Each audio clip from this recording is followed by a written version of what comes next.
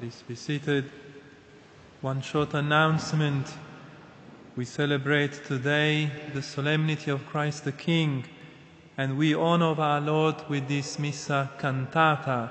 We hope every once a month to have a Missa cantata here at the cathedral. If anyone wishes to join the male voices schola, please see Neville after Mass. You are very welcome to join the schola. In the name of the Father, and of the Son, and of the Holy Spirit. Amen. Dear brothers and sisters in Christ, we give glory today to our Lord Jesus Christ, the King of all kings. This holy liturgy is a song of praise to the majesty of our Lord, His infinite majesty. Our Lord is King, and this royalty rests upon a twofold basis. Jesus is King because He's God, eternal God, as the Father and the Holy Spirit. And He is King also by right of conquest because He redeemed us, He paid for us by uh, giving to us his most precious blood. We belong to our Lord. This title, this uh, kingship of our Lord is universal. For this uh, twofold basis, our Lord holds a universal kingship. We normally translate in English uh, Jesus, the King of the universe, but it is quite misleading because the Latin says universorum rex, which does not mean that Jesus has a kingship over the universe as an astronomic entity. Jesus is the king of everything. Everything that exists is under Jesus' power, kingship. So his kingdom is universal, embraces everything that has been made by God, everything which is material and spiritual. Jesus, in uh, the process, uh, before dying before Pilate, said, My kingdom is not of this world, but it does not mean that Jesus' kingdom is merely spiritual, invisible, hidden in our soul, something private, as people nowadays think, even Catholics. The faith is private, is something hidden in my soul. No, the kingdom of Christ is public, is social, is universal. It enshrines everything politics, economy, sociology, psychology, all, uh, all different levels of this society are under the kingship of Christ. Even uh, this material level and the spiritual level.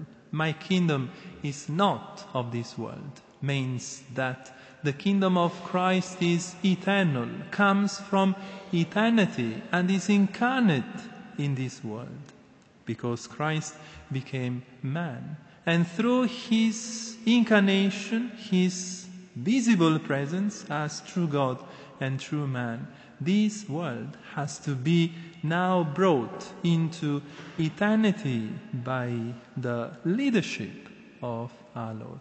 We have then to be subject to our Lord, to consecrate ourselves. Whatever we have, everything we do is to be consecrated to Christ because it belongs to Christ. It is His kingdom. My dear brethren, as we celebrate this kingship of our Lord, we also meditate on the words of Jesus to Pilate always during his process before dying for us. Pilate asked, Are you a king? Jesus said, Yes, you are saying that. I am a king. And for this reason, I was born. I came into the world to give witness to the truth. So, see, the kingdom of Christ, which is the dominion, the power of truth in the world through the incarnation of our Lord. For this I came into the world to give witness to the truth. Whoever is of the truth listens to my voice. So now we have a clear description of the kingdom of our Lord. The kingdom that we just said is universal, embracing all realities created, material and spiritual. The very core of this kingdom of Christ is truth.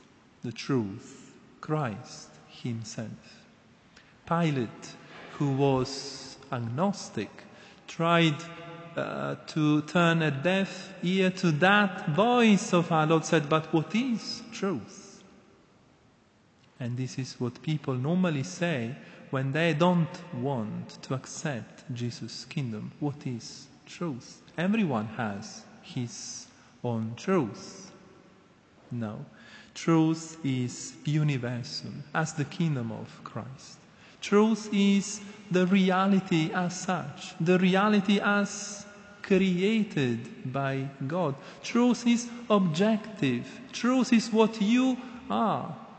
Truth is what we are, what the world is, what your conscience is telling you in your secret when you carefully listen to its voice. It is the voice of God telling you what you are, what you should do, what you are called to do. This is the truth, the evidence, the reality, something that you cannot deny. This is the kingdom of Christ, the reality, the evidence, the presence of our Lord.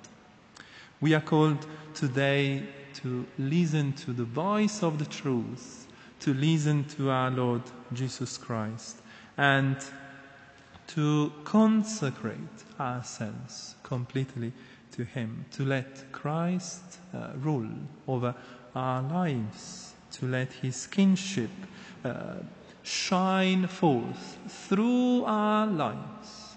Let us be always Christians who do not uh, a split life, so to speak.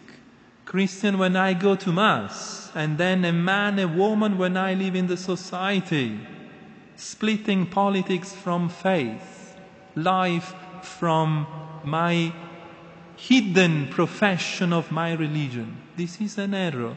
This is against the social kingship of Christ.